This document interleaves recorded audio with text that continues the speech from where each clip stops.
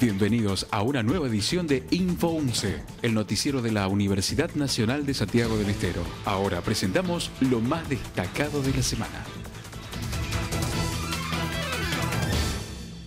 La Secretaría de Extensión Universitaria, junto al Hospital Oftalmológico, organiza un espectáculo a beneficio en el cual se presentará el grupo musical Elipsis. La banda pondrá en escena el lado oscuro de la luna, haciendo tributo a la banda británica de rock Pink Floyd. Estamos invitando a la comunidad a un nuevo recital eh, solidario. Eh, en este caso eh, hemos convocado al rock,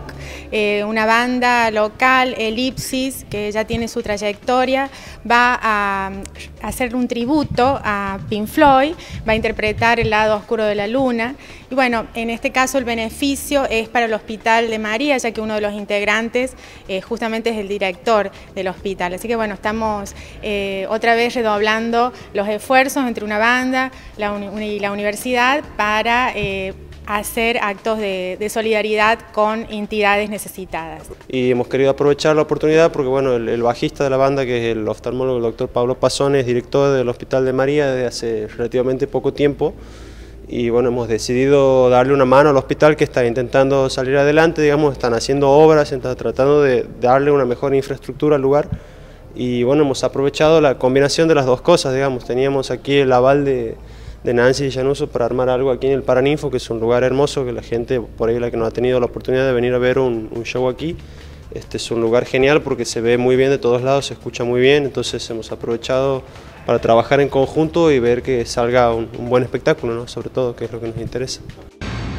En el marco de la Cátedra Abierta para Pensar la Educación en Nuestra América, organizada por la Escuela para la Innovación Educativa, se dictó una conferencia debate sobre la reforma universitaria en la Argentina y América Latina. Es un hecho histórico, ya indudable,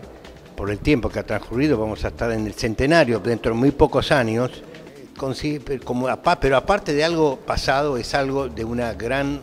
actualidad, porque la universidad todavía no ha terminado de ser lo que los viejos reformistas pretendían de ella.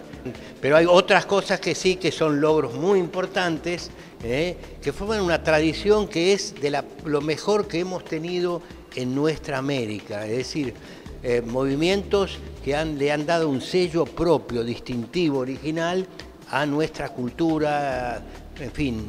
a lo que es nuestra forma de vida, de pensar, un pensamiento considerablemente propio, es decir, latinoamericano. Y todavía hoy hay mucha gente que se resiste a, ver que el, sujeto central de la, de la enseñanza, que es el estudiante, el educando, es aquel que,